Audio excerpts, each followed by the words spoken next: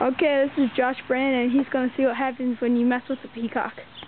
There's the peacock.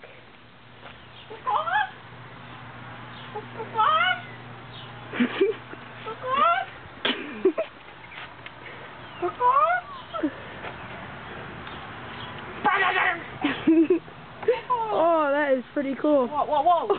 whoa. Dude, that is Oh my. Oh, oh my god.